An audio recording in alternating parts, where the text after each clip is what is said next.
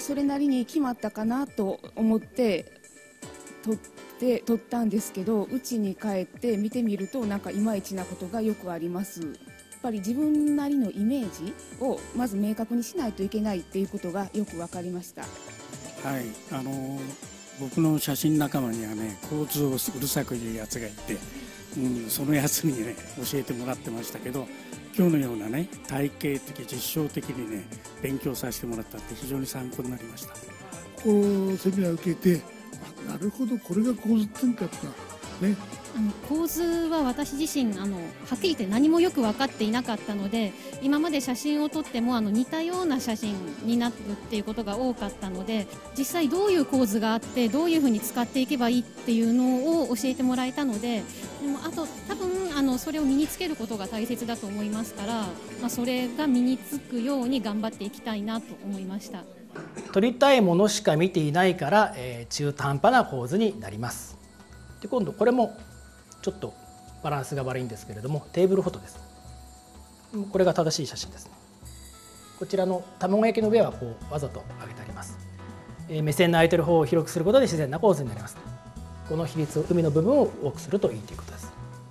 これも引き算の構図の考え方です。構図には糸があります。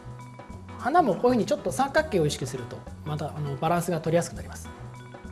シンメートリーって感じですね。これがあのいわゆる黄金比というものと黄金の螺旋と言われているものです。でポイントになるものをこの三分割上のこういうところに持ってきます。でこれらは一つ一つではなくて複合されて良い構図になります。